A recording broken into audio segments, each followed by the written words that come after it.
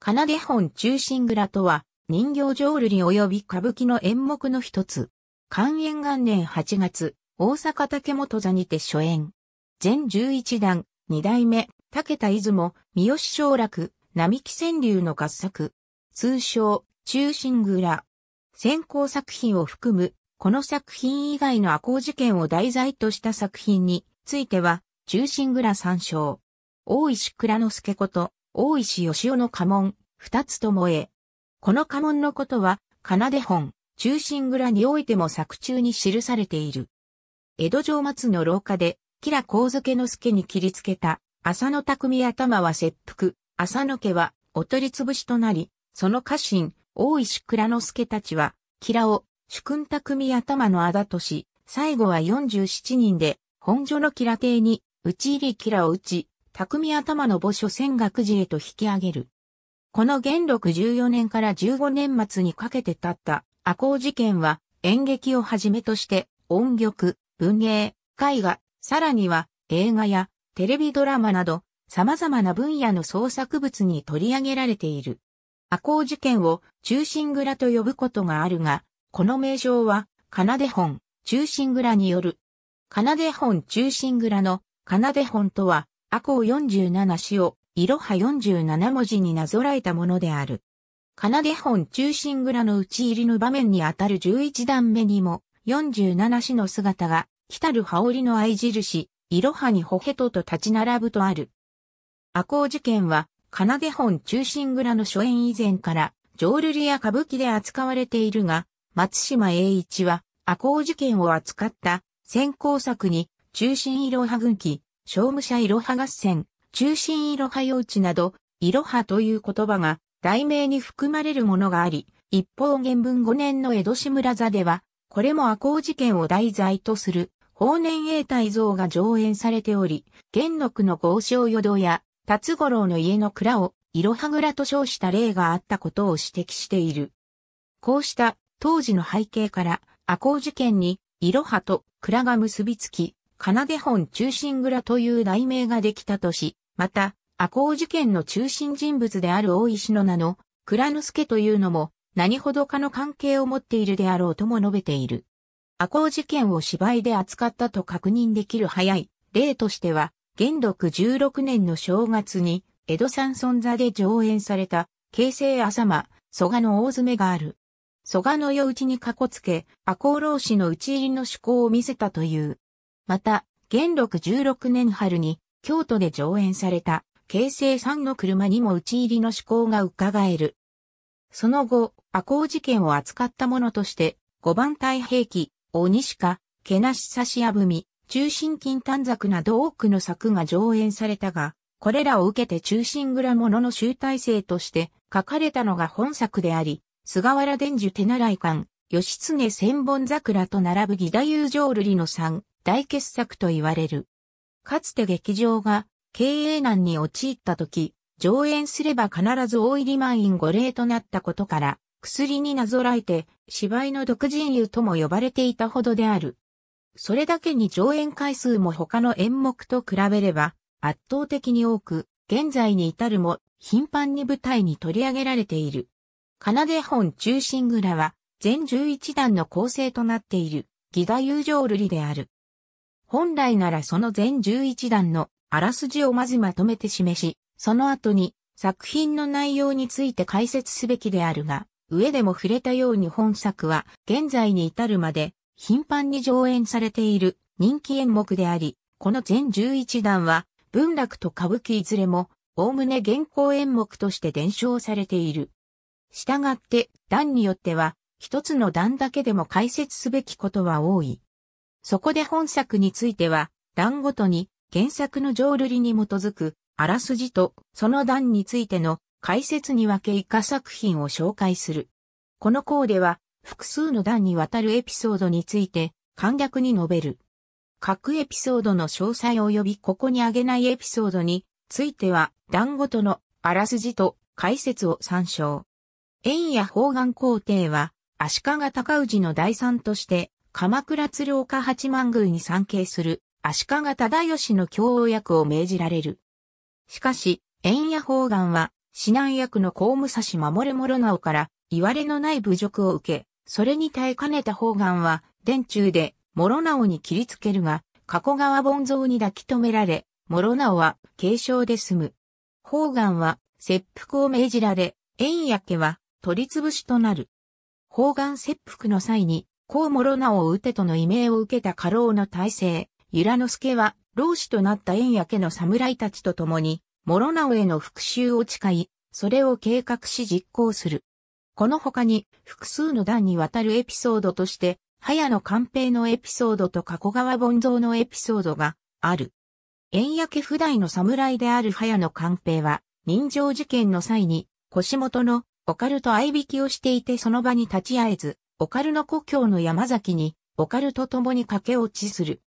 オカルの父、与一兵衛のもとで漁師として暮らす官邸は、山崎街道でイノシシと間違えて人を撃ち殺してしまう。官兵が撃ったのは、与一兵衛を殺して金を奪った小野帝九郎であった。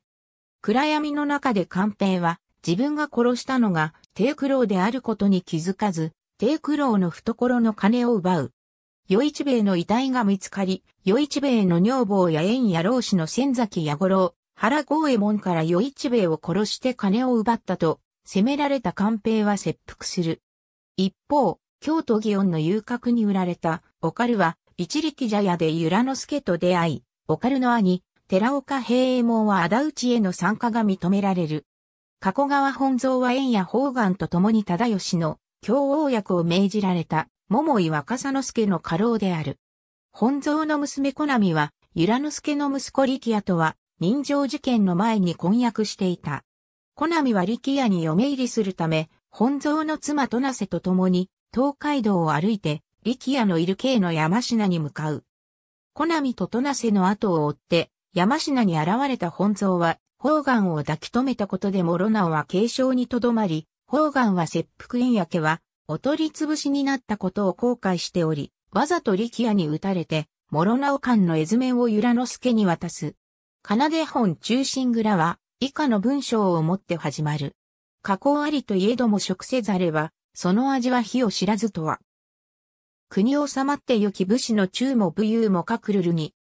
例えば星の昼見えず夜は、乱れてあらわはるの。例をここに、金垣の太平の大の。生、どんなに美味しいと言われるごちそうでも、実際に口にしなければその美味しさはわからない。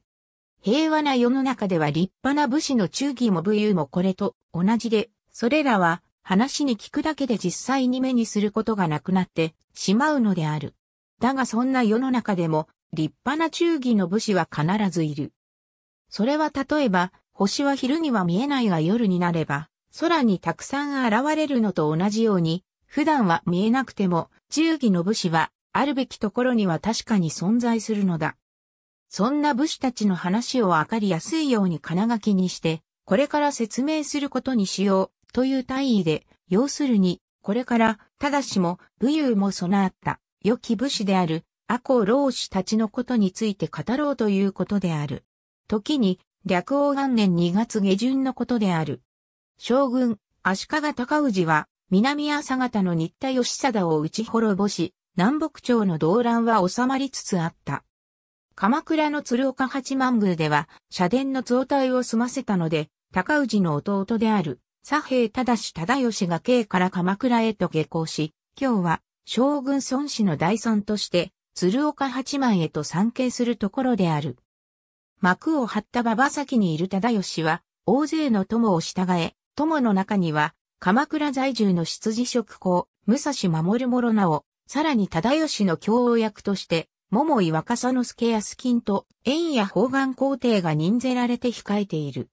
中心蔵大女、新田義貞着用の兜を見極めるため、円や方眼の妻か、保与御前が忠義の前に呼ばれる。場面は、鶴岡八幡の境内、画面左脇には、大井町の木が見える。石段には、加保与御前、そのすぐ左下には、市長二人が、兜を収めた唐びつを抱えて運ぶ。歌川広重が、皆の前には、唐びつが一つ置かれていた。忠義には、鶴岡大さんの他に、今一つ高氏に命じられたことがあり、それは討ち取った新田義貞着用の兜を探し出し、これを鶴岡八幡宮の宝蔵に収めることであった。その兜というのが後醍醐天皇から可視されたものであり、また義貞が生は源氏の血筋であるのを誉れとしたことによる。しかし義貞が死んだ時、そのそばには47もの兜が散らばってどれが義貞の兜なのかわからず、とりあえず、それらの兜を集め、この唐びにまとめて入れていたのである。この中から義貞が被ったという兜を探し出し、鶴岡八幡に収めなければならない。だが兜を収めようという忠義にもロナは、これは思いよらざるおことと口を挟み、生は源氏の血筋はいくらでもいる。そんな理由で義貞の兜をもったいぶって扱う必要はないという。これに、桃井若狭之助が声を上げ、これは、義貞軍の残党を怪獣し降参させようという、将軍孫志向のご計略であろう、無用とのご評議卒時なりと言おうとするのを、諸直は遮る。もしこの中から間違って、義貞のものではない兜を選んでは後に大きな恥となることだ。生弱杯七利をしてお尋ねもなき評議、すっこんで、追いやれと頭ごなしに怒鳴りつけた。これに、目の色を変える若さの助、それを察した、縁や方眼が言葉を添え、忠義の判断を仰ぐ。忠義には、兜の見極めについて、考えがあった。かつて宮中に内史として奉仕し、後醍醐天皇より義貞に、兜が可視されるのを目にしていたか、保与御前を、この場に呼び出したのである。か、保与御前は縁や方眼の妻である。か保与は、唐びの中から一つの兜を取り出し、蘭者町の香る、この兜こそ、義貞着用のものに間違いないと差し出した。見極められた兜を、直ちに宝蔵に収めようと、忠義は縁や方眼と若狭之助を連れて社殿に、向かいその場を離れた。するとかほよの美貌に以前より執着していた諸直がか、ほよにいいより、付け踏みを無理やり渡そうとする。困惑するかほよ。そこへ、折りよく気合わせた若狭之助にかほよは助けられたが、邪魔されて、怒り心頭に発した諸直は若狭之助を散々に、口汚く罵り、これに怒った若狭之助は諸直へ人情に及ぼうと、する。しかし忠義が帰還のため、方眼も含めた友の者を従えて通りかかるので、若狭之助は無念ながらもこの場では自重するのだった。江戸時代、文芸や戯曲においてその時々に起こった事件をそのまま取り上げることは幕府より禁じられていた。加賀騒動をはじめとするお家騒動を記した実録本なども出版を禁じられており、写本の形で後にまで伝わっている。悪行事件もある、意味深社会の修文とも言える事件であり、これを取り上げることは、幕政批判に通じかねないことから、人形浄瑠璃や歌舞伎の芝居においても、興行する側は相当の用心をもってこの事件を脚色し、上演していた。それは、本来の時代や人物の名前などを違う時代や人物に置き換えて脚色することで、抜け道としたのである。その時代や人物も、小栗方眼や太平記など様々だったが、この奏本中心蔵では、近松の五番太平記に見られる設定や人物名、すなわち太平記の世界を借りている。それは直接には太平記末期21、円野方眼残死のことを題材としたものである。大女四代目、坂東三五郎の高諸直、三代目、岩井久米三郎の加保予御前。嘉永2年7月、江戸中村座。三代目、歌川豊国が。縁や方眼残死のことのあらましは、高諸直が、縁や方眼、高貞の妻の美しさを聞きつけこれに就寝し、恋文を送るが、方眼の妻からは拒絶される。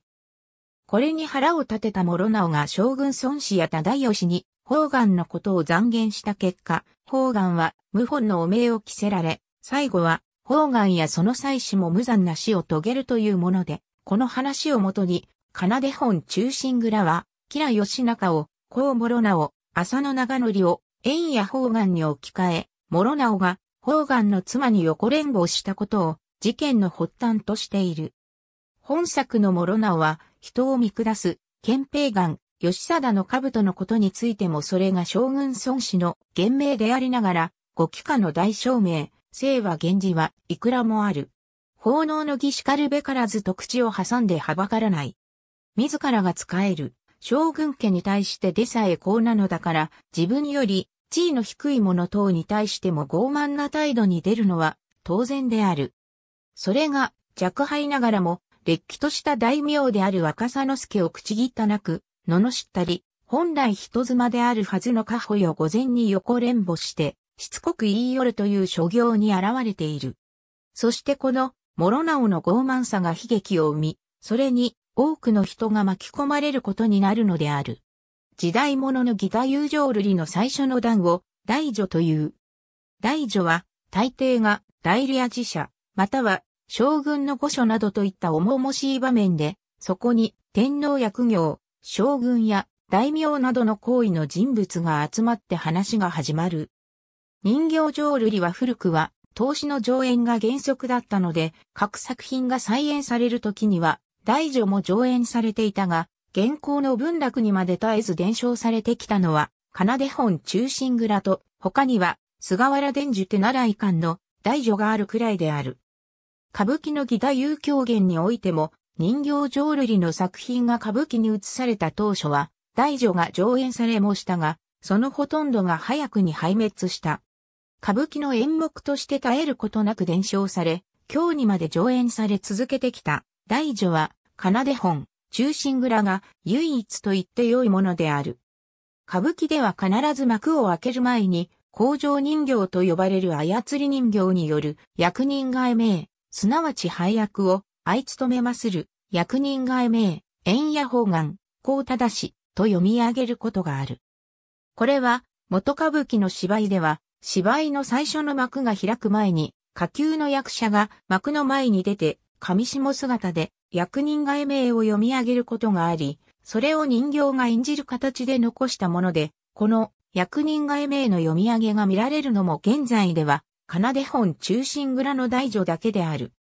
天皇律という鳴り物で幕を開ける早朝な場面であり、東西制で幕を開けた後も、登場人物たちは人形見と称して下を向いて瞳を開かず演技をしないで竹本に役名を呼ばれて初めて人形に魂が入ったように顔を上げ役を務め始める。六代目、尾上梅公は、カホよ御前について、この役は品格と色気で、品が7分に色気が3分というところでしょう。色気があるので、諸直とのあんな事件が出来上がると述べている。これは7代目、沢村宗十郎も、顔よ御前の役は、品格と色気とが大切としている。原作の浄瑠璃では、か、保養を助けた後諸直に悪口された若園助が、刀の恋口砕くるほど握りしめ、諸直と一触即発のところ、忠義が先払いの声と共に友を連れてその場に通りかかり、方眼もその行列の後、教えすなわち最後の方に加わってそのまま行を過ぎる。これは文楽でも同様で長江の傘を差し掛けられた忠義が方眼や大名たちを従え舞台上手から下手へと通り過ぎるが、これを若狭之助が見送って立とうとすると諸直が嫌がらせに、袖で遮り、ハエーワという。この、ハエーワは、モロナオの人形使いが言うのである。それでモロナオと若狭之助二人で幕となる。文楽の人形使いが舞台上でセリフを言うのは珍しいことである。歌舞伎でもおおよそ、この段取りであるが、幕切れはモロナオが二重舞台の石段、舞台下手側に勇んで刀を抜こうとする若狭之助、列から離れた方眼が若狭之助を押しとどめるという、蘇我の対面の幕切れと同じ形式となる。また若狭之助が刀に手をかけ、諸直を切ろうとすると、そこで忠義の帰還を知らせる、官魚の声がかかり、諸直と若狭之助二人だけで幕になることもある。現行の舞台では忠義以下の人物が、大井町のある、八幡宮の境内にいて、その中で、兜改めが行われるが、上のあらすじでも紹介したように原作の浄瑠璃の本文には、馬場先に幕田回し、意義を正して相次ぐるとあり、忠義たちは参詣者が下馬するための馬場、すなわち、境内の外の幕を張った場所にいる。要するに、原作の本文に従えば、兜改めをする場所は、八幡宮の境内ではないということである。これは、兜改めが済んだ後で、忠義が宝願と若佐之助を率いて、兜を社に収めようとするときにも、檀家、面を過ぎたまえばとある。檀家面は、今も鶴岡八幡宮の鳥居前に残る参道である。奏で本中心蔵の歌舞伎における上演では、原作の浄瑠璃とは違った内容が見られる。これは、大筋では違いはないものの、脚本や演出などに各時代の役者たちの工夫が入れられるなどしたことにより、それが歌舞伎における型となって残り、芝居の演出やセリフなどが原作の浄瑠璃のものとは相違するようになったのである。さらに、東京と上方においても、同じ段の同じ場面で型に相違がある。そうした原作、東京、上方、また文楽における型の違いについても一家触れることにする。中心蔵二段目円や方眼の使者として、大聖由良之助のせがれ力也が若佐之助の館を訪れた。死者の役目を終え、帰ろうとする力也、それを見送る加古川盆蔵の娘子並み。後ろのついたての影からは、母の戸なせがその様子を見守る。画面中央奥には、本蔵が松の枝を切って、若佐之助に差し出す場面が描かれる。広重が足利忠義が鶴岡八幡に参詣した翌日のこと。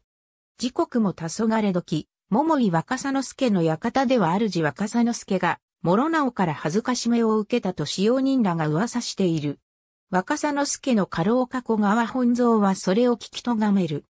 そこへ本蔵の妻となせと娘の小波も出てきて、若佐之助の奥方までもこの噂を聞き案じていると心配するので、本蔵はそれほどのお返事、なぜ取り繕うて申し上げぬと叱り、奥方様をご安心させようと奥に入る。縁や方眼の家臣、大聖由良之助の子息である大聖力也が、明日の途上時刻を伝える使者として、館を訪れる。いい名付けの力也に恋心を抱く小波は、本蔵やとなせが気を利かせ、工場の受け取り役となるがぼーっと見とれてしまい、返事もできない。そこへ、主君若佐之助が現れ工場を受け取り、力也は役目を終えて帰った。再び現れた本蔵は娘を去らせ、主君に諸直の一家を訪ねる。若佐之助は腹の虫が収まらず諸直を撃つつもりだと明かす。ところが本蔵は止めるどころか、若佐之助の刀をいきなり取って庭先に振り、その刀で松の片絵を切り捨て、まずこの通りにさっぱりと遊ばせと挑発する。喜んだ若佐之助は奥に入る。見送った本蔵は、家来ども馬引けと叫び、驚く妻や娘を尻目に馬に乗って一山にどこかへ去っていく。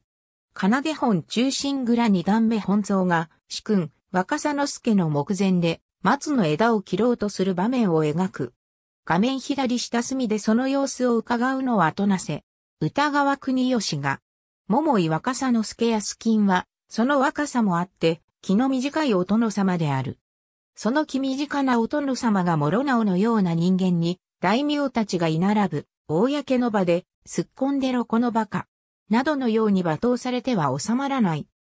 そんな若さの助には、加古川本蔵という、年も五十の分別森の家老が仕えていたが、その分別森であるはずの男が、後先の考えなしに、諸直を切ってしまえばよいと、無分別なことを主君に進めてはばからない。ましてかろうという重い立場であれば、必死になって諌めるのが筋である。さらに本蔵はその話のすぐ後に、馬に乗ってどこかへ駆け出してゆく。分別森の男が、決起に流行る主君を諌めもせず、大急ぎでどこへ行くつもりなのか。その答えは、この後の三段目で明らかになるのである。この段で、実説の多い石倉之助にあたる大聖由良之助の名が初めて出てくる。その息子の力也というのも実説の多い七からのことである。ただし由良之助が姿を現すのは四段目になってからである。なお歌舞伎の二段目については台本が二種類あり、一つは上のあらすじで紹介した原作の浄瑠璃に基づくものだが、もう一つこれを書き換えた、県庁寺の場というものがあり、これを二段目として上演することがある。これは七代目、市川團十郎が初演し、その台本が上方の中村宗十郎に伝わったものだという。内容は、大女の鶴岡八幡で、諸直に罵られた翌日の夜、若狭之助が鎌倉県庁寺に物産の後寺の書院で休息している。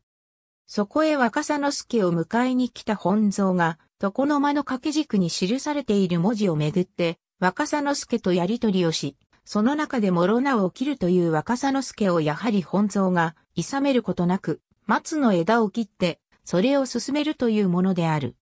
ただしこの、県庁寺では、舞台面が室内を表す平ら舞台の大道具なので、松を切るくだりでは床の間にある盆栽の松を切ることになっている。また七代目團十郎が初めてこの県庁寺を演じた時には、まず県庁寺の住職となって若狭之助との全問答があり、その後本蔵に代わって出たという。しかしいずれにしても、現行の歌舞伎では、この二段目は当時、上演の際にも省略しほとんど上演されることがない。文楽では、松切の段に比べて、力足者の段の上演回数が少ない。新築の御殿に、忠義が投留し、大名などはじめとして、多くの名ある武士が、忠義教王のため礼服に身を整えて詰めている。時刻も聖七つの夜明け前でまだ、あたりは暗い。そこへ、館の門前に、諸直が、烏帽子大門の姿で、家来の詐欺坂伴いに先払いをさせながら到着する。諸直は、あのか、保与御前のことをなおも執着し、どうやって物にしようかなどと伴いないと話しているところに、若狭之助の家来加古川本蔵が諸直に直接会いたいとこの場に来ているとの知らせが来る。さては若狭之助が、その本蔵を使わして、昨日の鶴岡での遺恨を晴らすつもりだな。ここへ呼び寄せやっつけてやろう。そう考えた諸直は、友内と共に、刀の目釘を示して、本蔵を待ち構えた。中心蔵三段目諸直と伴え、内主従の前に現れた本蔵は、様々な神物を並べる。広重が、ところが諸直の前に出た本蔵は、意外な行動に出る。本蔵は、諸直の前を遥かし去ってうずくまり、この度将軍孫志向より、自家義行教王という名誉の役目を、主人若狭之助は仰せつけられ、本来弱敗の若狭之助が守備よく、務められるのも、皆諸直様のお取りなしによる、そこでそのお礼として、神物を差し上げたいと、諸直の目前に、黄金や反物など多くの神物を並べたのである。本蔵が仕返しに来たと思っていた諸直と伴えうち、このありさまに拍子抜けして顔を見合わせた。これはこれは痛み入ったる幸せと諸直は言葉を改め、本蔵からの神物を取り収め、若狭之助のことについて褒め出した。手の裏を返した、この諸直の態度に、本蔵はしてやったりと内心喜ぶ。そして、諸直に挨拶して場を立とうとしたが、機嫌を良くした諸直が、電柱の様子を見てゆくが良いと熱心に進めるので、それではと本蔵は、諸直の後について門内へとは入るのだった。ほどもなく、友を連れた、縁や方眼が到着するが若狭之助が、すでに出資していると聞き、遅縄りし残念と不代の家来場屋の官兵一人を連れ、電柱へと急ぎ行く。か、保与御前に使える、腰元の、おかるは、か、保与から諸直宛ての分の入った符箱を持って、門前まで来る。その恋人の官兵が再び門前あたりに来たのを見た。オカルは、官兵を呼び止めた。官兵は符箱を、主人、縁や方眼の手から諸直様へ渡すように、しようというところ、方眼が官兵を呼んでいるとの声に官兵は符箱を持って、館の内へと入った。すると入れ違いに伴え打ちが現れる。今の官兵を呼ぶ声は伴いないの仕業であった。おかるにおかぼれする、友内は、恋敵の官兵がいないのを幸いにおかるに、品だれかかりくどくが、そこへ奴たちが来て、友内様諸直様の急ぎ、御用というので、仕方なく伴えうちは奴たちと共に立ち去った。そこへまた官兵が出てくる。今の奴たちは、官兵が頼んでわざと伴い撃ちを呼びにやらせたのである。二人きりとなった恋人同士、手に手を取って、相引きのためその場を立ち退く。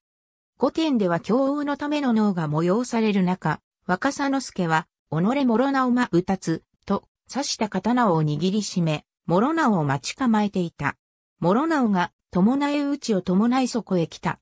だが、諸直主従は、若狭之助の姿を遠くから認めると、貴殿に言い訳いたし、お詫び申すことがあると刀を投げ出して、鶴岡でのことを詫びる。その時はどうやらした死の間違いでつい申した武士がこれ手を下げると諸直は、友内も共に若狭之助に対して幾度も詫びた。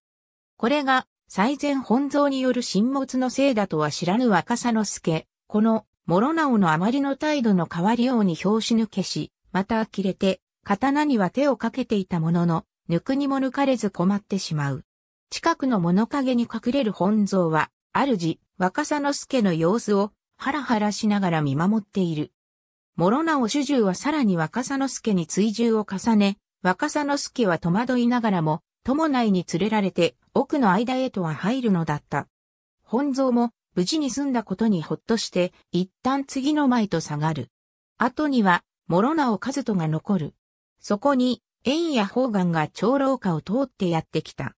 方眼を見た諸直は、おそしおそし。なんと心得てござる。今日は、聖七つ字と、宣告から申し渡したではないかという。本蔵から賄賂を受け取りはしたものの、本来なら、若造と馬鹿にする若狭之助に頭を下げ、追従を並べたことが諸直にとっては、内心を面白くなく、機嫌を損ねていた。しかし法案が、お供わり氏は不調法と謝りつつ、官兵を通して届けられたか、保与午前からの不箱を取り出し、諸直に渡すと、諸直はまたもがらりと様子を変え、就寝するか保与の分が来たことに機嫌を直す。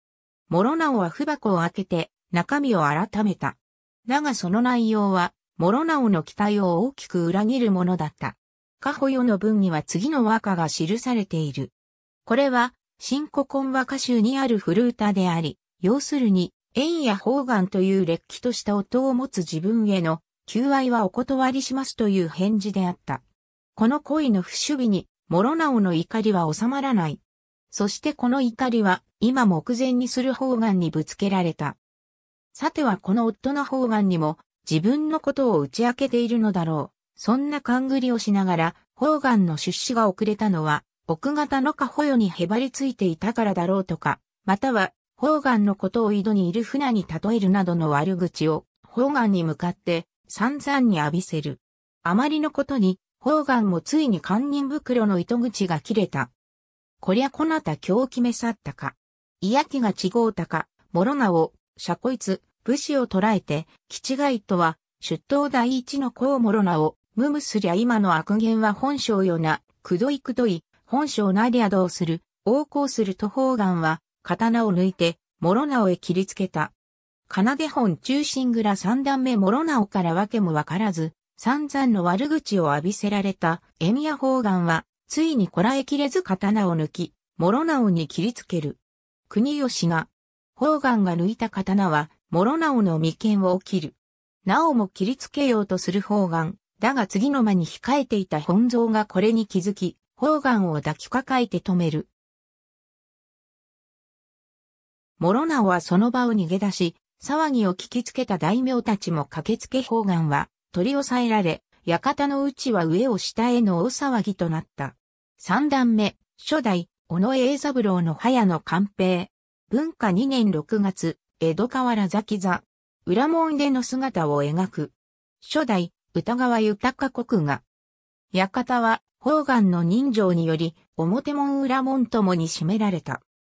腰元のオカルト、ジョージの最中だった官兵は、館で騒動が起こったことを知り、慌てて、館の裏門へと駆けつけたが、聞けば、主の方眼が諸直と喧嘩となって、人情に及んだことにより、閉門を命じられ罪人の乗る網乗り物で、自らの屋敷に送られたという。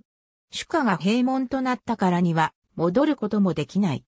色ごとに老けて、大事の主君の返事に居合わせなかったとは武士にあるまじきこと、もはやこれまでと官兵は刀に手をかけ切腹しようとした。だがオカルがそれを止め、こうなったのも自分のせい、ひとまず自分の実家に来てほしいと言って泣き沈む。官兵は今は本国に帰っている家老の大勢由良之助が戻るのを待ってお詫びしようと、オカルの言うことを聞いてこの場を立ち退くことにした。すると、詐欺坂友内が手下を率いて、官兵を捕らえに現れた。官兵は、やあ良いところに詐欺坂友内打ち、己人はで食いたらねど、官兵が腕の細ネギ、料理塩梅食うてみよと、手下どもをやっつける。友内も官兵に切りかかるが、首をつかまれ、投げ飛ばされた。官兵は友え打ちを切り殺そうとするが、オカルが、そいつ殺すと、お詫びの邪魔、もうよいわいなと止めるのを、友え打ちは隙を見て逃げてゆく。もはや、夜明け、明け六つの空が白む中、オカルと官兵はこの場を落ちてゆくのであった。二段目の最後で本蔵は、馬で駆け出していったが、その理由が、この三段目で明らかとなる。すなわち起点を聞かせて、諸直に賄賂を送り、ことを収めようとしたのである。この賄賂は功を奏し、若狭助は諸直を切る覚悟をするが諸直が、平誤りに謝るので、表紙抜けし、結局切ることができなかった。なお本蔵が二段目で若狭之助との話の最後に、若狭之助の刀をいきなり取って庭に振り、松の木の枝を切るが八代目、坂東三五郎によれば、これは松を切ることでその矢にお歯につけ、それで再び刀を抜こうとしても抜きにくくしたのだという。新物上は、現行の文楽と歌舞伎では諸直は出ず、友内の傍らにある籠に乗っていることになっている。歌舞伎では友え打ちが、本蔵が、主の諸直へ仕返しに来るのだろうと思い、えへんばっさりなどと言いながら中間たちと本蔵を打つ、稽古をする。それが仕返しではなかったと知れた後のおかしみなど、伴え打ちを演じる役者の腕の見せ所である。その後か、保与から諸直に当てた不箱を、腰元のオカルが持ちやってくる。オカルをめぐって、早野官兵と伴えないとのやりとりがあり、伴え打ちを追い払うと官兵とオカルの合いびきとなるが、この官兵とオカルの軽率さが、後の六段目の悲劇への伏線となっていき、官兵の色にふけったばっかりに、の悲痛な後悔のセリフにつながってゆく。筋としては重要な場面だが、現行の歌舞伎では上演時間の都合により省略され、ほとんど演じられることがない。このあたりの下りを、土壌踏みというのは、友内がオカルの前に現れるとき、主婦無足付き詐欺坂友内という浄瑠璃の文句があることによる。また、官兵の名について、早野官兵とすることが多いが、原作の浄瑠璃では、早野官兵としている。館騒動は、通称、喧嘩場とも言い、この場面がいわゆる、人情松の廊下にあたる。原作の浄瑠璃では若狭之助が奥へ入った後、ほどもあらさず、円や方眼、御前へ通る、長老家と、円や方眼が現れ、そこで、諸直に呼び止められる。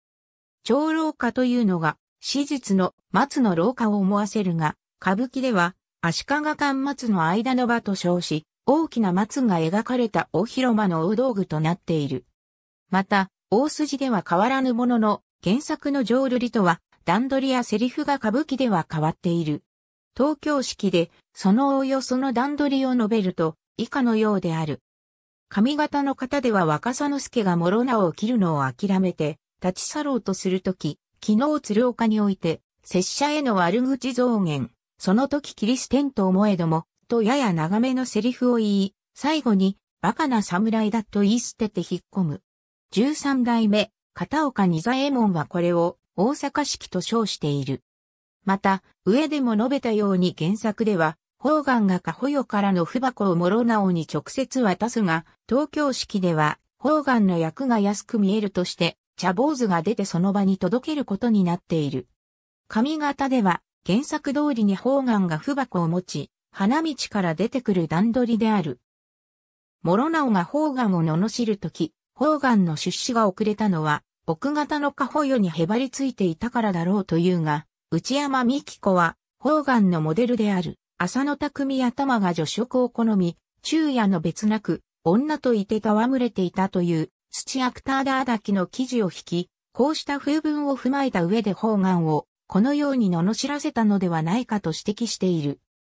この段のモロナは、原作の浄瑠璃の本文にもあるように、本来は、烏帽子大門の姿であったが、歌舞伎では、大門の長袖では方眼に絡みにくいという理由で、現行のような着付けに、長場鎌だけの姿となっている。ただし若狭助が引っ込んだ後、方眼登場までの間に、諸直が舞台上に出した姿見で、茶坊主や友のいたちに手伝わせ、長場鎌だけの姿から、烏帽子大門に着替えるという演出があった。これは、姿見の諸直と呼ばれ、三代目、尾上菊五郎が創作した方だと言われるが、実は三代目、中村歌右衛門が始めたものである。諸直が通りかかる大名たちに挨拶を交わしながら、烏帽子大門に着替え、後に方眼に絡む下りで烏帽子と大門の上を取るというものだが、明治以降は五代目菊五郎と六代目菊五郎、その弟子の二代目、尾上正六が演じたくらいで、今日では全く廃れている。しかし歌舞伎における現行の諸直の姿は、この姿見の諸直の着替える前の姿が元になっているのである。裏門は土壌組の下りと同様、現行の歌舞伎ではほとんど上演されることがなく、この裏門の代わりとして、道行き旅路の花婿が、もっぱら上演されている。道行き旅路の花婿二代目、尾上小六の詐欺坂伴え打ち。これは、奏で本中心蔵の元々の内容ではないが、現行の歌舞伎の当時、上演では一体化して上演されている。清本節を使った書佐寺で、天保4年3月、江戸川原崎座で初演された。この時は、奏で本、中心蔵を、表すなわち本来の幕とし、その裏として段ごとに新たな幕を加えるという裏表の趣向で演じられたもので、この道行き旅路の花婿は三段目の裏として出された書佐寺である。三章や二十三地の作。その語り出しが、落ちうども、見るかや延べに、若草のと始まるところから、通称、落ちうどという。ただしこの語り出しは、実は、関仙助、若竹笛見合作の浄瑠璃、形成恋美客からの焼き直しである。内容はオカル官兵が駆け落ちを決意し、オカルの故郷山城国の山崎へと目指す途中、その後を追いかけてきた詐欺坂友内が二人に絡むというものだが、その師匠は三段目の裏門から多くを拝借しており、裏門を書き換えた諸佐寺と言える。初演の役割は官兵が五代目、市川海老蔵、オカルが三代目、尾上菊五郎、友内が、尾上梅五郎。以来人気演目として、今日に至るも盛んに上演されている。楽しく、色彩豊かな小佐寺で、爽やかな清本を聞きながら、軽やかで華やかな気分を味わう演目。セリフには、地口も盛り込まれており、特に東京でよく出る。舞踊の定番の演目でもある。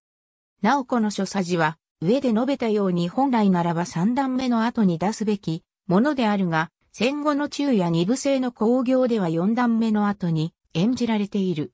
つまり、落ちうどで昼の部を終わり、五段目からを夜の部にする構成である。道行き旅路の花婿が初演された時に同じく三段目の裏として出されたのが、通称、八の巣の平衛門である。ただし近年では上演を見ない。内容は、円谷家の足軽、寺岡平門が鎌倉から国元へ書状を届ける途中、大見の鳥本塾の茶店に立ち寄り休む。そこで巣にいた蜂が、よそから来た蜂と争うのを見るなどして、胸騒ぎを覚え、鎌倉へ引き返そうとするが、蜂の争いとは縁や方眼が諸直へ人情に及ぶ、兆しであったというもの。これも三章や二十三地の作であった。平門は五代目海老蔵で、海老蔵は、この平衛門を、道行き旅路の花婿の前に演じ、次に、官兵へと早変わりして出た。蜂の巣の平衛門は、日本戯曲全集第15巻に台本が収録されているが、4段目裏となっている。扇ヶ谷にある円や宝願の神屋敷は、主の宝願が閉門を命じられたことにより、大竹でもって門を閉じ、家中の者たちも出入りを厳重に禁じられていた。中心蔵四段目、花籠の場面。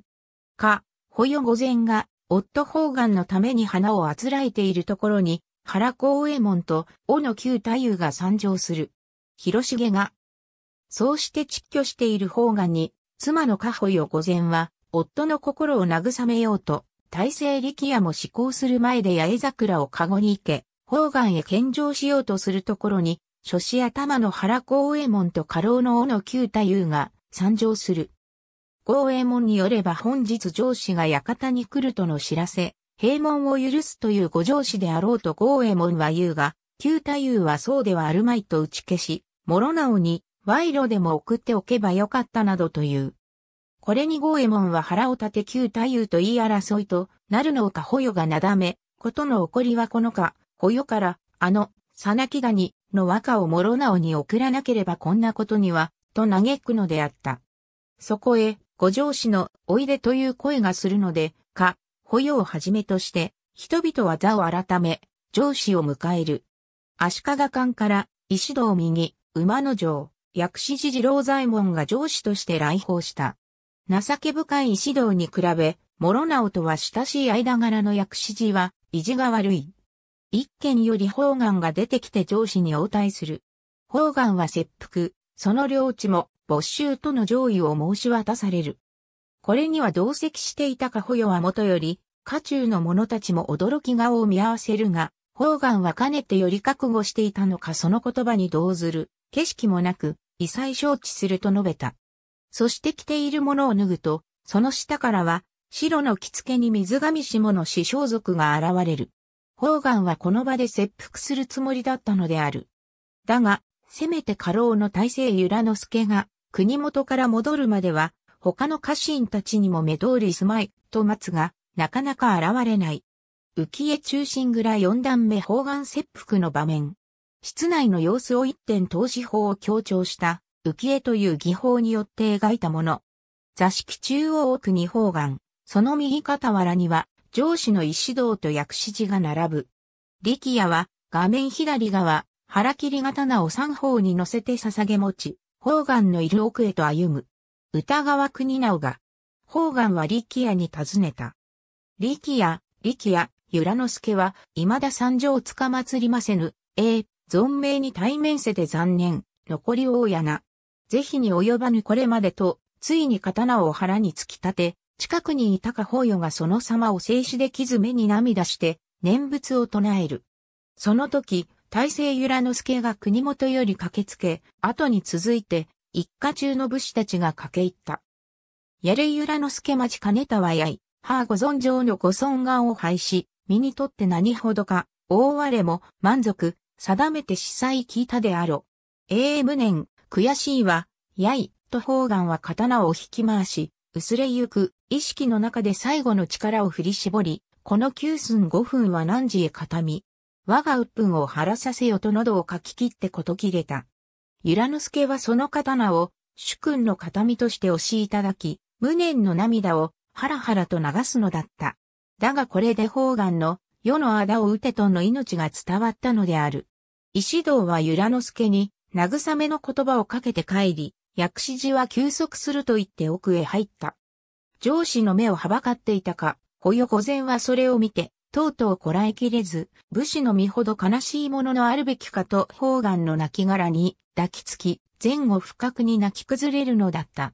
方眼の意外は、円屋や菩提所の光明寺に埋葬するため、カゴに乗せられるとか保与も嘆きつつ、それに付き添いかも出て、光明寺へと急ぐ。その後、一家中で今後のことについての会議をすることになった。由良之助は家老の旧太夫と金の分配のことで対立し、旧太夫はせがれの帝九郎と共に立ち去る。ここで由良之助は残った原光右衛門、千崎矢五郎ら家臣たちに主君の命を伝え、仇討ちのためにしばらく時節を待つように話す。やがて明け渡しの時が来る。由良之助たちは、先祖代々、我々も、代々、昼夜詰めたる館のうちも、猛強で見納めかと、名残惜しげに館を出る。奏で本中心蔵四段目いよいよ屋敷を明け渡す、段となるが、なおも名残惜しそうに屋敷の方を見る由良之助たち。現行の文楽と歌舞伎では、由良之助一人だけとなって門前から去ってゆくが、原作の浄瑠璃の本文では、諸子と共に立ち去るように書かれているので、この絵の描写でも誤りではない。国吉が、表門の前では、屋敷明け渡しに反対する力やら若侍たちが、険悪な雰囲気で立ち騒いでいる。そこへ出てきた由良之助は、宝願が切腹に使った刀を見せ、諸直に返報しこの刀でその首をかき切ろうと説得するので、人々は、下にもっともとその言葉に従う。だが、屋敷のうちには薬師寺が、諸直公の罰が当たり、さて良いざまと言うとどっと笑い声が起こる。その悔しさに、屋敷内へと駆け込もうとする諸子を、由良之助はとどめ、千君のお憤り腹さんと思う所存はないかと、言うので皆は無念の思いを抱きつつも、この場を立ち去るのであった。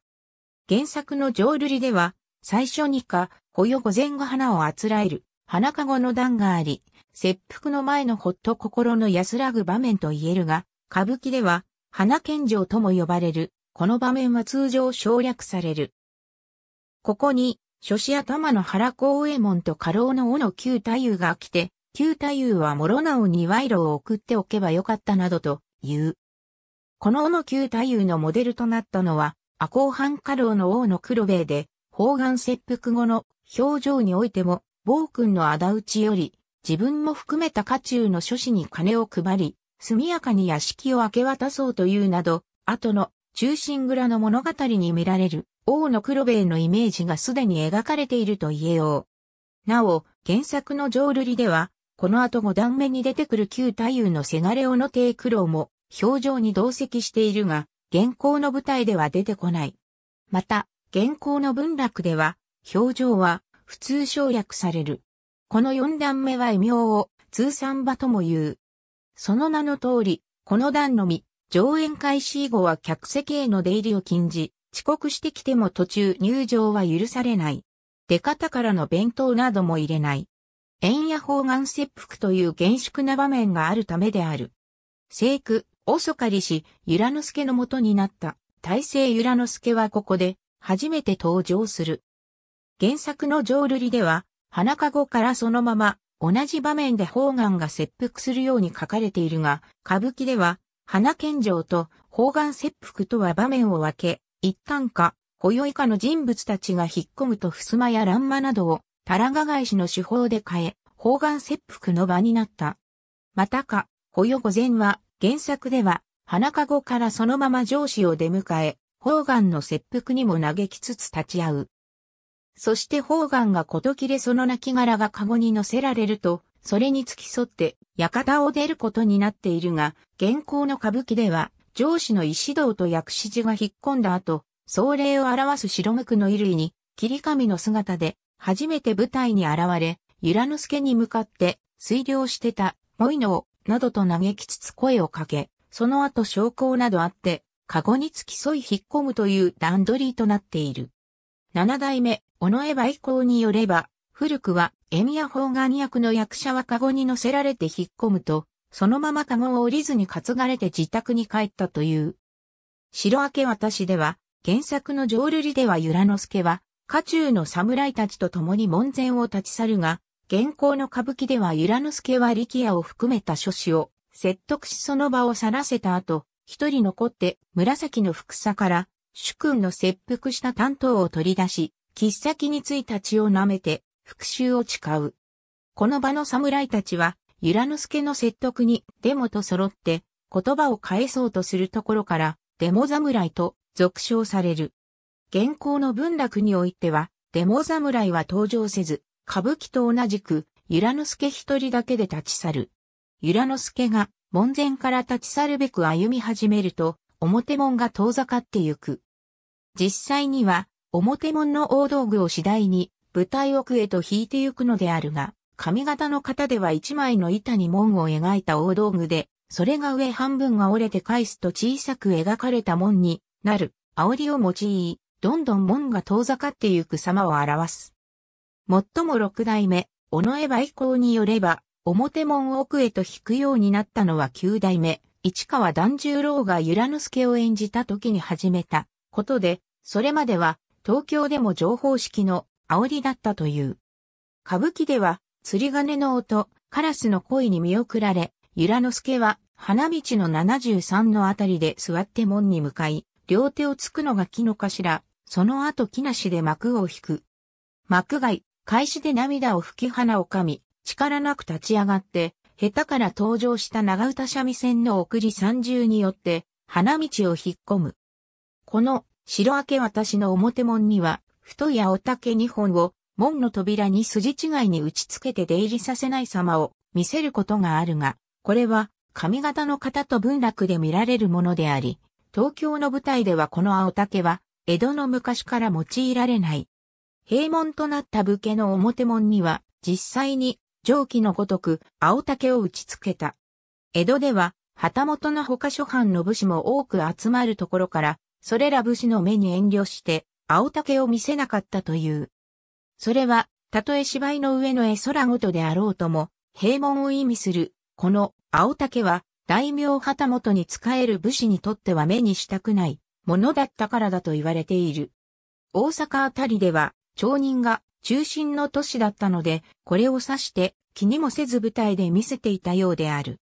当時お家がお取り潰しになるということは、現代の大企業が倒産するといった以上の衝撃を世間に与えていたのであり、そのお取り潰しとなる様子を脚色して見せたのが中心蔵だったのである。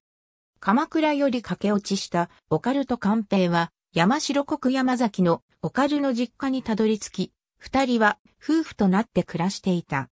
官兵は、見過ぎとして漁師になり、この山崎のあたりで鹿や猿などを鉄砲で仕留め、今日も山中に獲物を求めて歩いている。そこへ6月の夕立に出くわし、あまりの雨の勢いの強さに、松の木の下で雨宿りをする。だが、雨はなかなか止まず、すでに日は暮れ夜になっていた。金手本中心蔵五段目鉄砲を持って狩りをする。官兵は思いがけず以前の購買、千崎や五郎と出会う。国吉が、うかつにも商売道具である火縄銃の火が雨で消えてしまった。そこに運よく、提灯を持ちカッパを着た男が通りがかるではないか。官兵はその提灯の火を分けてもらおうと、嫌申し申し。卒じながら火を一つとその男に近寄る。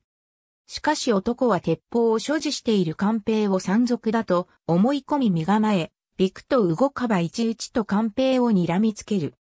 官兵は、こういう場所では、盗賊と間違われるのも無理はないと思い、鉄砲それを渡し申す。自身に火をつけおかし、と言ったところで、男が官兵の顔を見て、早野、官兵ならずやと声をかけた。